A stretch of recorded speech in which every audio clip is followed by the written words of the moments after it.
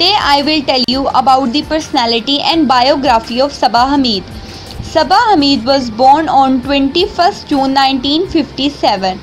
She is a Pakistani television actress. Saba Hameed was born in Lahore, Pakistan to writer Hamid Akhtar.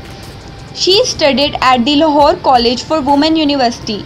Her siblings include three sisters and one brother.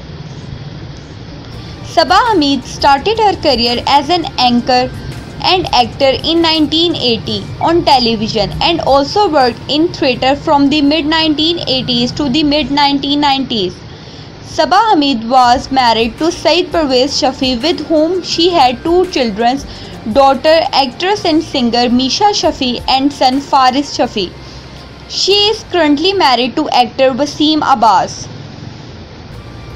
Saba Hameed's famous filmography is मैं एक दिन लौट के आऊँगा, अभी तो मैं जवान हूँ, गुड मॉर्निंग कराची, जवानी फिर नहीं आनी, पंजाब नहीं जाऊँगी।